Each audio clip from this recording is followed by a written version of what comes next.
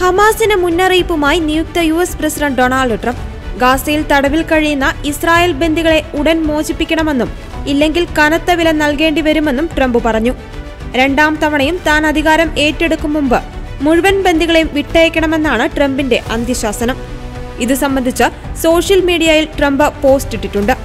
താൻ യുണൈറ്റഡ് സ്റ്റേറ്റ്സിന്റെ പ്രസിഡന്റായി അധികാരമേൽക്കുന്ന രണ്ടായിരത്തി ഇരുപത്തിയഞ്ച് ജനുവരി ഇരുപതിന് മുമ്പ് ബന്ദികളെ വിട്ടയച്ചില്ലെങ്കിൽ മിഡിൽ ഈസ്റ്റിൽ മാനവികതയ്ക്കെതിരെ ഈ ക്രൂരതകൾ ചെയ്തതിന് ഉത്തരവാദിത്തപ്പെട്ടവർ കനത്ത വില നൽകേണ്ടി വരും.